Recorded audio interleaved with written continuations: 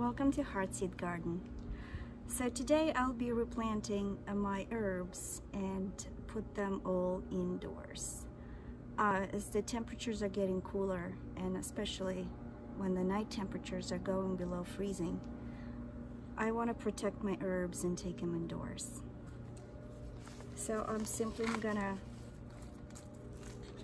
have one of those reusable planters and a small shovel. So, and I'm gonna take each herb and put them in a separate container, put them in my kitchen window, and they're gonna winter over. So I have basil, thyme, oregano, lemon balm, mint, rosemary, and that's what I will be working on.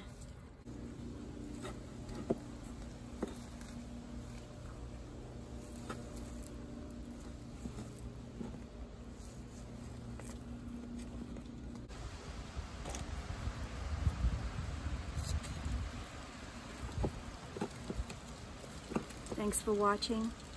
Until next time, I'm Olivia. May your heart be in your garden and your garden be in your heart. See you soon.